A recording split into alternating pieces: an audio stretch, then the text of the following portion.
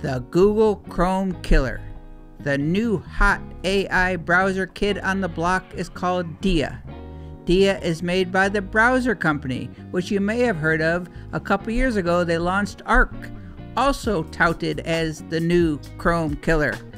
And just as an FYI, at this time, Dia browser is Mac only.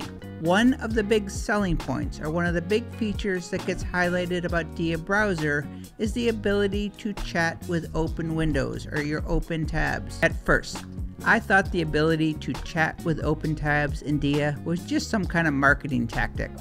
I mean, I've been using Google Chrome and other browsers for years, and never once have I thought, if only I could chat with my browser, life would be so much better.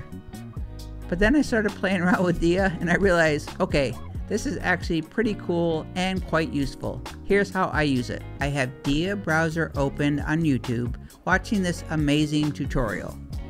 To chat with a window or a tab on Dia, go to the top right corner, you'll see a little chat bubble and it's going to say chat with this video. And that message is going to change depending on the browser window that you're looking at.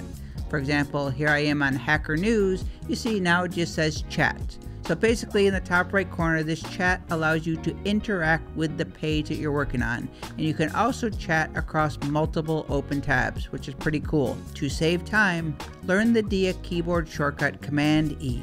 Command E will open and close the chat window.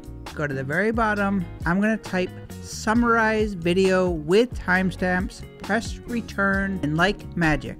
Dia added chapter markers, summaries, and timestamps to this video in a matter of seconds. And if you make tutorials or videos on YouTube, you know that chapter markers and timestamps are awesome, but they are also kind of a pain in the butt to create, and Dia makes it super easy. And that is Dia Browser, your AI tool of the day, and I am your AI handyman, Mike Murphy. Cheers.